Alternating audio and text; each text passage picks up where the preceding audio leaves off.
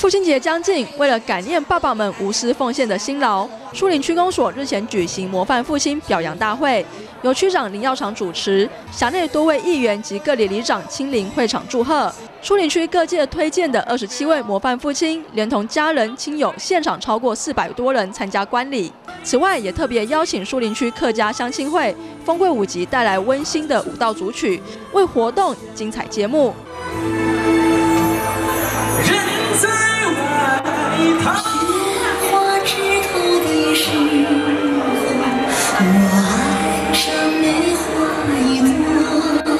区长林耀长表示，今年的父亲节在平日，许多人都提早庆祝。每一年的表扬大会，除了慰劳区内的模范父亲之外，也让每位获奖者都能跟着全家大小一同享受一顿丰盛的午餐，并祝贺全天下的爸爸们都能幸福快乐。哦，我们树林区有二十七位的魔幻父亲，那每一位魔幻父亲哦，都有非常动人的故事，那也都非常热心邻里公益以及我们的社团，所以哦，在这里祝福全天下的父亲。父亲节快乐，大家都能够家庭幸福美满。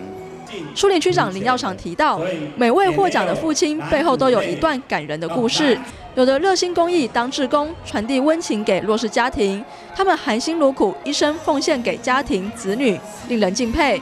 例如今年七十二岁，育有二子一女的黄水莲，除了是家中子女典范之外，平时更热心社区公共事务，还会呼朋引伴参与公益活动。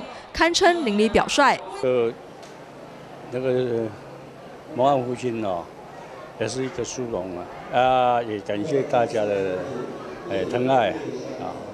呃，我我比较别讲话，那我你要教育女孩要说儿女啊，我是顺着他们的兴趣，哦啊，让他们喜欢怎么。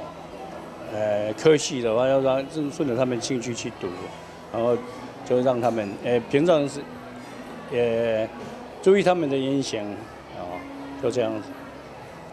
呃，食物也母啦，因为大部分都是我太太在管教他们啦，啊，我是看就是在旁边看啦，然后真正需要我讲话的时候，我我才会讲，啊。